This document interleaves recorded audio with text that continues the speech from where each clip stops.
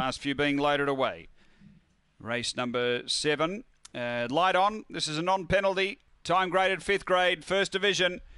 Favourite into 260 late Bella Express. Away, hopped out beautifully. Bella Express out deep. Shows really good pace. Gets over to lead. Got a wobble up second.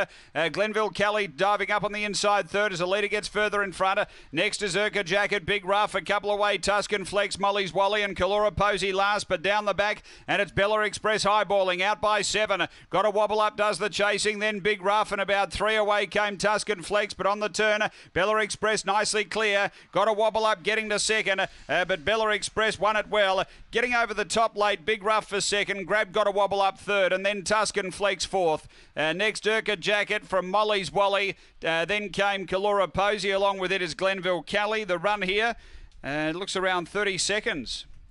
Bella Express. Never any worries there. Began like a bomb and then put a few lengths on them through the pen, and that was it.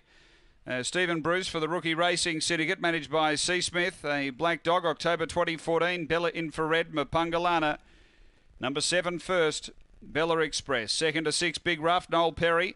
A black dog, February 2015, Lochinvar